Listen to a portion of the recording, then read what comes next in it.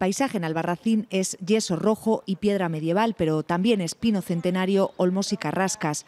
La muralla medieval comparte ladera con una vegetación que quiere preservar el pasado y mejorar el presente. Un terreno privilegiado por sus especies autóctonas, en riesgo por la gran cantidad de plantas invasoras. Detectarlas y eliminarlas ha sido el primer paso estaba todo lleno de Ailanthus altísima. O sea, es una especie, tanto el Ailanthus como la Robinia, que pueden generar que aquí desaparezca absolutamente toda la vegetación autóctona.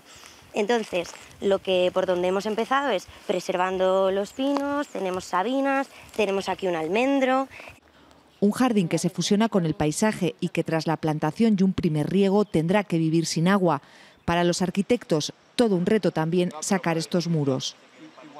La antigua muralla de Albarracín se esconde en esta ladera en la que se está interviniendo, cruza la carretera hasta llegar a la parte alta del pueblo. Es otro de los objetivos de este proyecto, identificar y divulgar por dónde discurría la muralla medieval.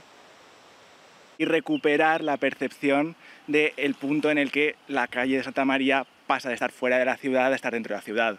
Restos medievales que se completan piedra a piedra, en la parte superior, digamos, eh, implementamos una hilada eh, metiendo, interponiendo una malla para diferenciar siempre la parte que se ha conservado históricamente de la parte nueva.